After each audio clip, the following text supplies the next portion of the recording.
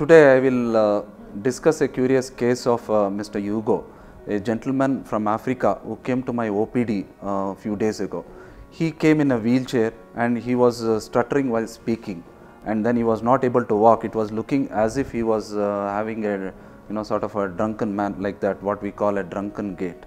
On evaluation we found out that he had got uh, multiple tumors or what we call swellings in the brain the lesions in the brain that is in cerebellum which is a small part of the small brain what we, what we call otherwise.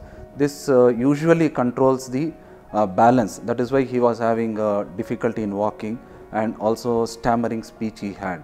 Uh, but what was uh, unique about this is he had multiple such tumors in the cerebellum and one was usually these uh, tumors will be either solid or it will be like watery what we call cystic but here he had uh, two tumors which were both solid and cystic and one uh, tumor was causing swelling in the cerebellum whereas the other one was very close to the, an important organ called brainstem. So, even a little bit of swelling in that area patient will have difficulty in breathing, heartbeat problems and many other issues. So, it was a very uh, difficult and a courageous call we had to take it, but uh, looking at this uh, you know imaging and studying and the patient condition this was a surgery which was absolutely needed.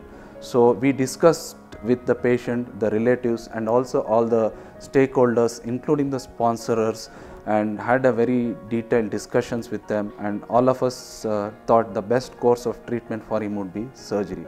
The surgery uh, was not a difficult one because is a very difficult one because the brainstem part of the tumor that was which was uh, it was very deep seated and uh, which was not easily locatable. So, we used a advanced technique called as neuronavigation wherein we put feed the images of the scan of the patient into a computer sort of device and which uses a sort of mechanism what we call as similar to GPS, it locates exactly during the surgery where the tumor is. So, we also use other techniques such as neuromonitoring where we will be monitoring the function of the uh, nervous system during surgery using the electrophysiology or the study what we call as electroneurophysiological study.